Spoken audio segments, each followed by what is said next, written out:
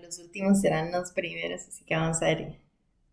Yo como olvido ya he hecho las lecturas, no me acuerdo quién, quién es el último que me falta de hacer. ¡Ah! Acuario. Wow, Acuario. Así que bueno, vamos Acuario. Los últimos serán los primeros. Vamos a ver cuál es la energía general. Mi solar lunar ascendente Acuario. La energía general de estas dos últimas semanas la luna. A ver, Acuario. La luna. Esta luna tiene mucho que ver con altos, bajos emocionales, pero también tiene mucho que ver con popularidad, fama, eh, conexiones que tengan. Así que estas dos semanas ah, últimas también tienen mucho que ver con sueños. Así que muchos de ustedes tal vez tengan ciertos sueños que tienen que prestar atención, sobre todo porque Puede ser que encuentren muchas respuestas dentro de sus sueños, pero también las energías tienen mucho que ver con las cosas que se atraen y se repulsan de la vida de ustedes. Así que hay muchas cosas que vienen, muchas cosas que se van. Y eso les va a traer tal vez a ustedes pues cambios emocionales altos y bajos estas dos últimas semanas. Ahora, porque están en la situación por la que están, por qué están en el problema por el que están. Ya tenemos la primera carta que cayó, que es el niño o la inocencia. El ancla y la guillotina. Muchos de ustedes están en el problema en el que está porque prácticamente muchos de ustedes, uno, puede ser muchos de ustedes que han perdido el trabajo. Dos, muchos de ustedes tienen un problema con sus hijos o con sus hijas que son un poquito muy testarudos y están en el problema en que están porque sus niños pues como que no responden mucho, no les hacen caso. Tres, es muy posible que ustedes están lidiando con personas inmaduras o con alguien inmaduro que realmente pues tuvieron que cortar de su vida o que esa persona es totalmente inmadura y decidió cortarlos a ustedes de su vida. O también lidiando con personas inmaduras dentro del trabajo, no solamente en el amor o que esa pareja los cortó, ustedes los cortaron porque hay inmadurez, porque la carta del niño tiene mucho que ver también con la inmadurez.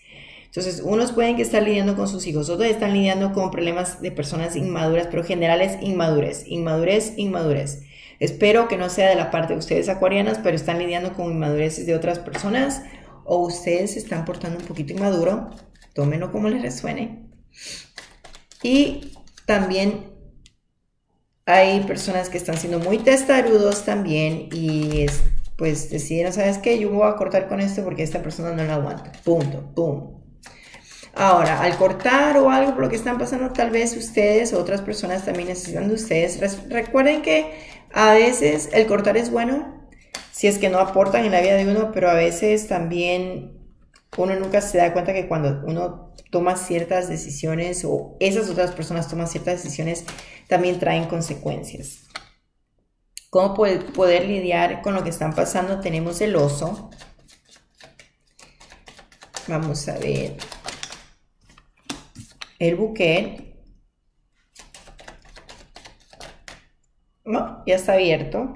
Y eh, los búhos cómo poder resolver o cómo van a resolver esa situación. Primeramente tenemos, hay que tener fortaleza, hay que tener garra, primeramente, eh, para que ustedes puedan, digamos,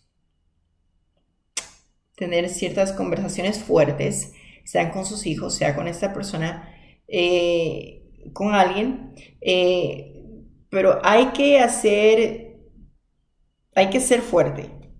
Cuando se trata también en cuanto a su carrera, por ejemplo, porque también el oso tiene mucho que ver con la carrera, tiene que ver con algo que hay que celebrar, no hay que celebrar, perdón, hay que tener armonía, hay que buscar también armonía en las cosas que no parecen armoniosas Sé que es difícil decir esto y sé que muchos van a decir, ay, yo cómo voy a encontrar armonía en ese trabajo, o cómo voy a encontrar armonía cuando me acaban de despedir o me hicieron el recorte, ¿qué voy a hacer? Bueno,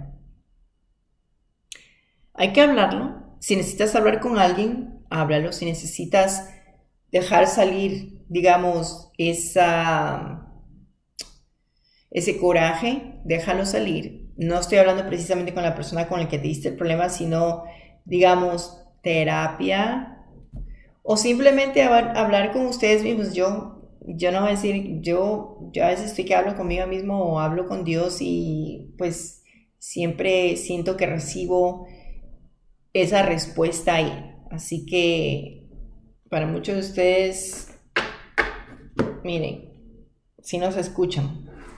Así que dos de tierra, así que si nos escuchan. Y yo sé que para ustedes hay muchas tareas y muchas cosas y responsabilidades sobre sus hombros ahorita, pero también es que ustedes tienen que empezar a buscar las cosas o hacer cosas de una manera un poquito más juguetona, abrirse más.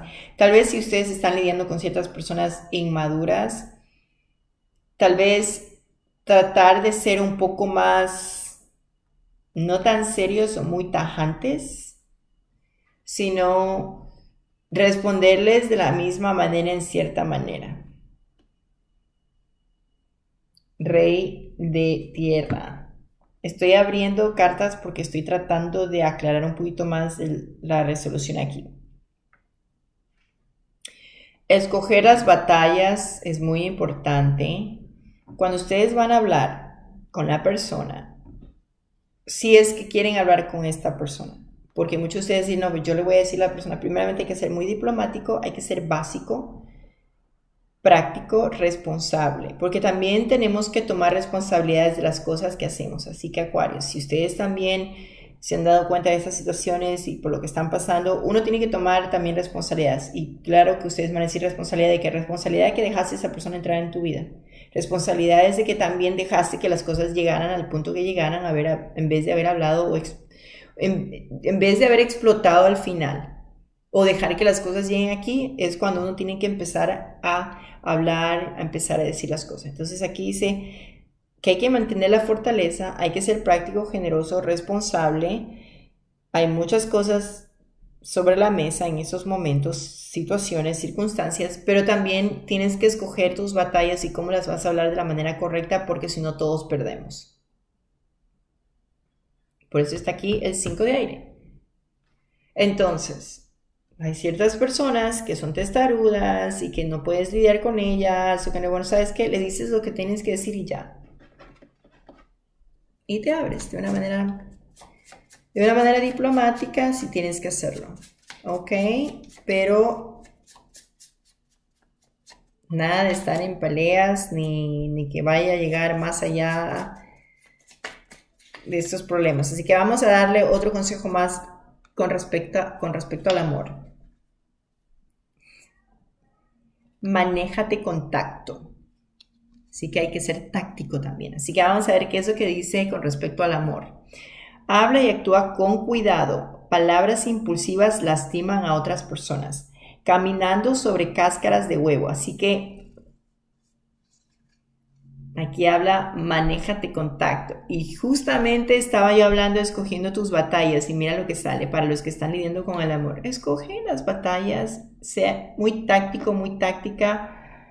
Y sí, es como que estás caminando huevitos de clara, porque donde las pisas y se revienta, ¿no? Entonces, tengan cuidado. Eh, no lastimen a otras personas. Hablen las cosas como tienen que hablar sin lastimar a otros. ¿Ok? Vamos a ver con respecto a otra, a otra área de tu vida que puede ser lidiando con tus vecinos, con tu propósito de vida, con tu trabajo, tu carrera, lo que sea. Vamos a ver, retos. ¿Cuál es tu consejo? Retos. Disfruta de la estimulación y el crecimiento que traen los retos. Es tentador sentirse intimidado o intimidada, pero esfuérzate a, demostrar, a, demostrarte a ti mismo que puedes lograr lo imposible, porque es mejor y más divertido ser un jefe y no un bebé. Es decir, toma rienda de tu vida. ¿Ok? Siempre todos tenemos retos en la vida y pues ten fuerza con este oso. Es decir, yo puedo, determinación. Así que bueno, los dejo. Espero les haya gustado estas eh, guías. No se olviden que ya vienen los de abril, no se los pierdan porque pues hago una combinación bien chévere y pues van a estar muy candentes porque lo que se viene en abril está muy bueno.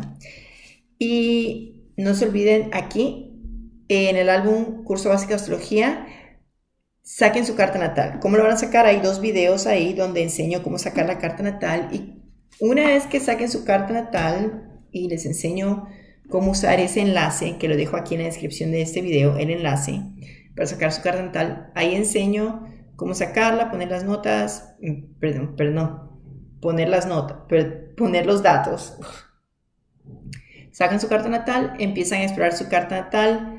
Si no entienden nada de astrología, ese mismo álbum empiezan a aprender lo básico y de ahí pasan a los siguientes videos y empiezan a entender mejor. No se olviden de leer los comentarios. Los comentarios les va a ayudar muchísimo a entender por qué ustedes están pasando también por lo que están pasando y muchas personas que están pasando por lo mismo. Se los recomiendo. recomendado que saquen su carta natal les ayuda a entender su karma, por qué están pasando por este karma y cómo poder suavizar las cosas y poder mejorar las cosas para salir adelante y conseguir el éxito. Y claro, el éxito es diferente para cada persona. Bueno, los dejo mis acuarianos, mucho amor y mucha paz. No se olviden de ver los que vienen de abrir las guías que van a estar candentes y los veo. Chao.